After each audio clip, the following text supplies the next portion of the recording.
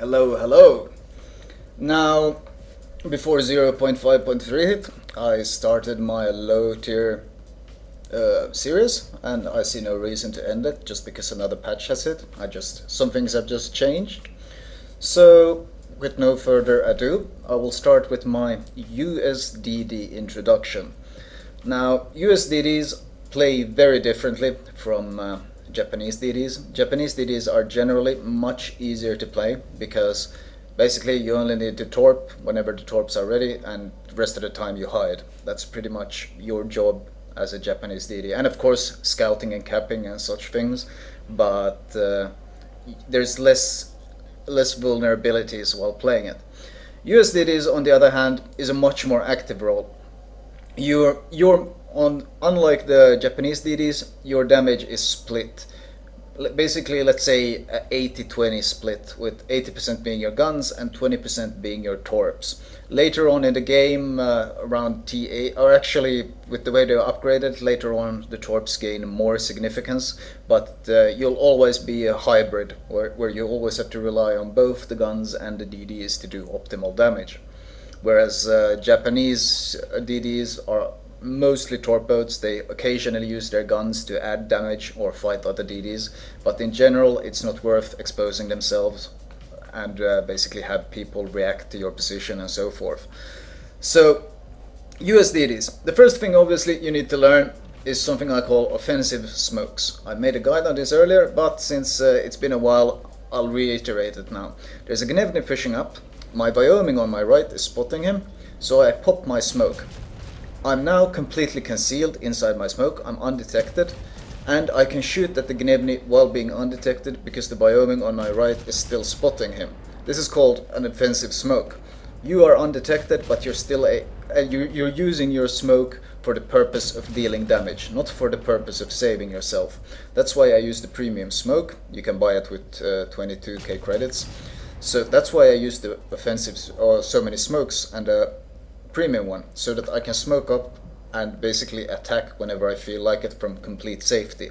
Or well, complete safety is arguable since there are ways to counter this like hydroacoustic and just torps into the smoke and so forth.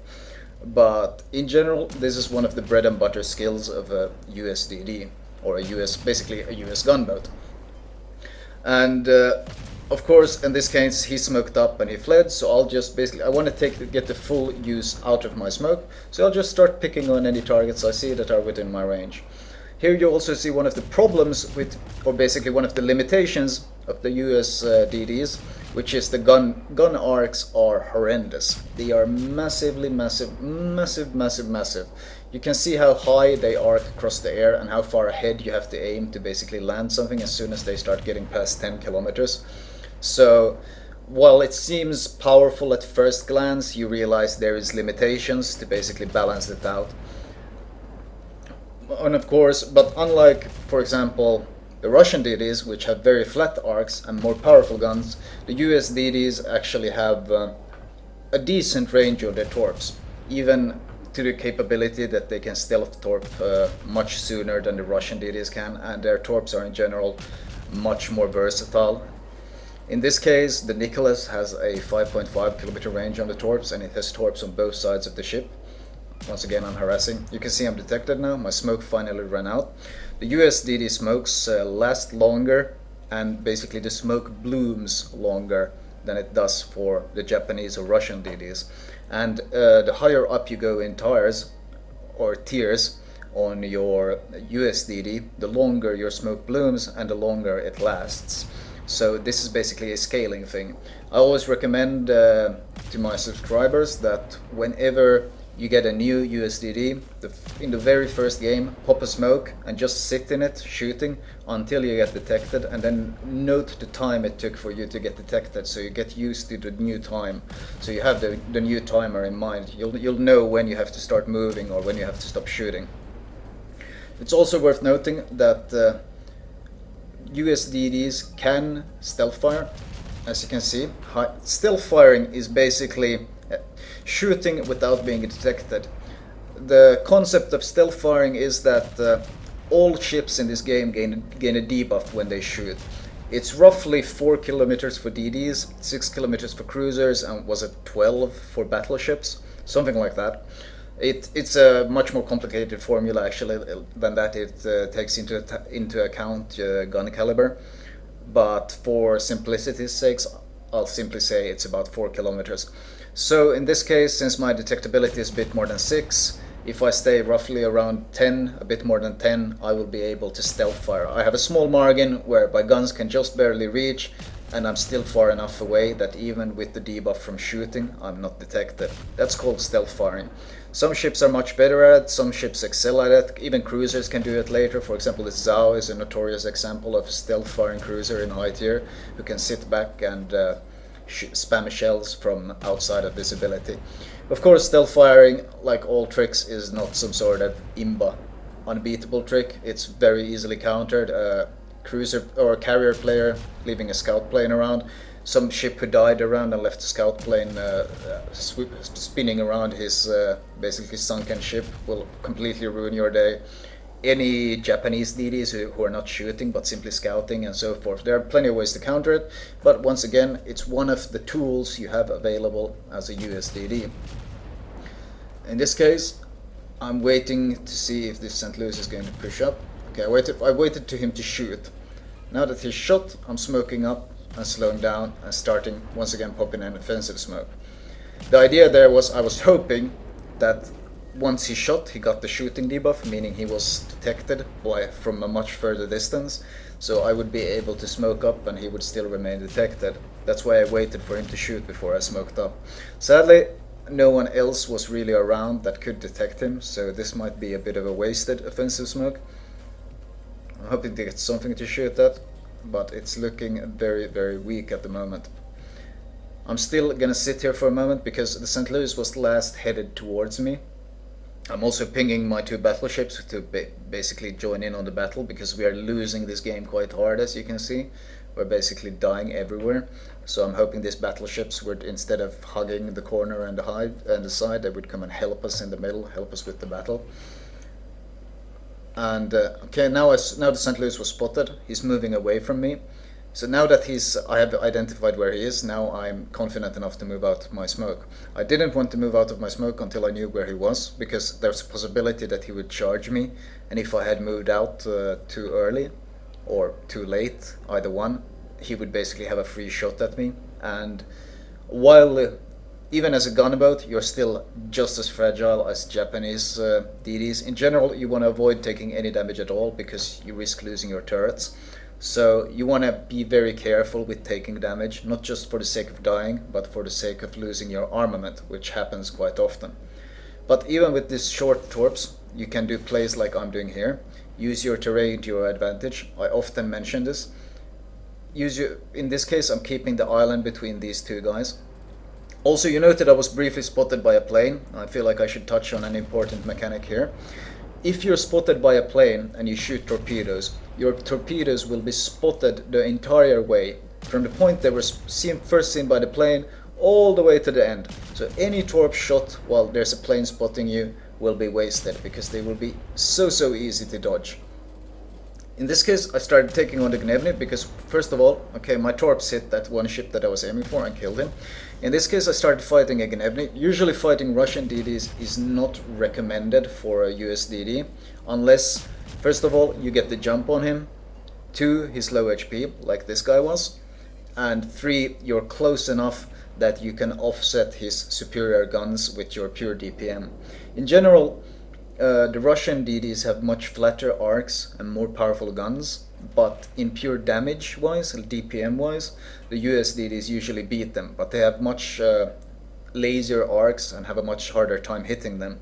So if you're going to fight a Russian DD, make sure you engage at the last possible moment, like just before he's about to detect you, so you get the surprise factor and you're close enough. And in general, during the fight, you want to be closing in on him as well. Even though they have torps, you have torps as well, and you want to be able to get close to him, or within, let's say, four to five kilometers. That's where you'll be superior in the gunfight. Of course, if the Russian DD is good, he will simply turn tail and start kiting you. If that happens, you should disengage. It's just gonna end in misery if you try chasing him around while he uses his superior speed to flee and uses his superior guns to beat you from range. It's not worth it. Just disengage, you can smoke up, you can turn around, stop shooting, whatever. Just bail. Not worth it. In this case, I'm starting, I'm, I'm picking a fight with the New York. As soon as I saw his turret start to turn towards me, once again, I pop a smoke. Offensive smoke that I talked that I talked about at the start of this vid and that I mentioned many times, but since there's probably new people watching these vids, once again, I'm using the Myogi and the Wyoming behind me to spot him. The reason I smoked up this late and not closer to the island was because if I had smoked up closer to the island, then I would be blocking their line of vision with my smoke in which case they would not be able to spot him for me, in which case I would have nothing to shoot at. So I made sure I left a gap in between myself and the island, so they had plenty of vision on this New York before I smoked up. And now of course my goal here is not only the HE damage, but getting these fires. He got one fire and he repaired. This is something I often say is a huge mistake for battleship captains. You do never ever want to repair one fire if you're under fire. It's the worst thing you can do.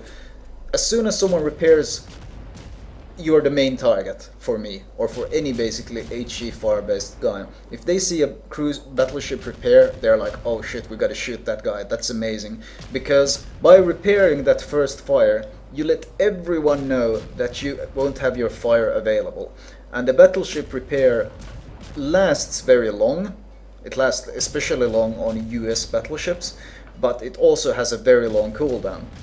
So now that I'm aware that, that his uh, repair is on cooldown, I'm obviously going to spam fires. Now you might also note that I'm constantly changing my crosshair around and trying to land these HE shells at different parts of his ship. That's because if you have started a fire on one part of a ship, for example battleships have four spots where they can be on fire. So if you have started a fire on one spot, then you have to aim hit a different spot to start a second fire. If you keep shooting at the same spot where it fires, well, you're gonna do HE damage, but you're not gonna start additional fires.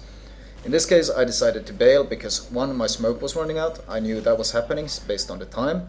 And two, these two guys were spotted by my Myogi. So once again, I used the terrain to my advantage, keeping uh, the island between me and these cruisers. And of course, using my torps to lay ambushes here using the torps on both sides. Now that's done. I'm looking at the HP on the New York, he was pretty low. These guys are not coming for me. Basically, I have time while these guys sail away. They killed my other battleship, and now I realize a 2v1, and I think that Wyoming is probably going to die. So I'm gonna engage this uh, New York in a battle without a smoke. Now of course he slowed down hoping to get the kill since he fought these cruisers I would fight the cruisers but instead I tried to hunt and down and finish this kill. He has so low HP that it's basically worth the risk. If you look at my rudder at the bottom of the screen you can see I regularly switch, shift the rudder especially when I see him fire. But you notice I'm almost never going straight. It's always turning, always shifting somewhere. That's because battleships reload slowly, but they hit very heavily. So you want to make yourself an especially hard target to hit. There's also the Kuma behind me that could possibly be shooting me. That's why I'm basically wiggling my ship back and forth, back and forth all the time, making myself the hardest possible target to hit. Now I should be able to kill this guy off. I've dodged most of his shots. Come on, he's so close to dying. There we go, finished off the kill. And let's see if I can help this Wyoming with the Kuma Okay, the Phoenix shot at me. Kuma seems to be taking some decent damage. I'm capping as well, as you noticed, because this is uh, this domination mode, or what was it called, zone mode, where if you're the guy in the cap, you will win. See, start trying to land. You can see these massive arcs come into play now, and uh, that's basically the weakness of it. It's very hard to hit a moving or agile target from range with these guns. I think this Kuma is about to torp. He's about to torp. No, he got the kill. But no, he got the torps off. The Kuma got the torps off. I think my Wyoming's dead. So I'm left... Is he dead? Yeah, he's dead. So I'm left 1v1 with 8k HP. No, uh, no speed boost left, one smoke left, but no one's to spot against the Phoenix. So what I do here is obviously I land, I, first I shoot my torps, and then I'm gonna basically bait him into going into them. Now, he's probably gonna heading towards me, but I want him to turn right, so I basically present him a target and make it look like I'm rushing him. So he's turning right to avoid me, and by turning right, he's turning into my torps. You might have noticed that I switched to AP there, and I actually citadeled him. That's because close range, your AP is very, very potent. With this final 1v1 kill and win, I managed to secure the victory for my team. And, uh, well, yeah, I got some good XP out of the game. And hopefully this has displayed to you the basics of uh, US uh, Destroyer gameplay. Damage-wise, I did... Uh, how much did I do? I don't know, 110k or so. I'll check, I'll calculate that later. Anyway, uh, as usual, I will be moving on to upgrades, modules and captain perks.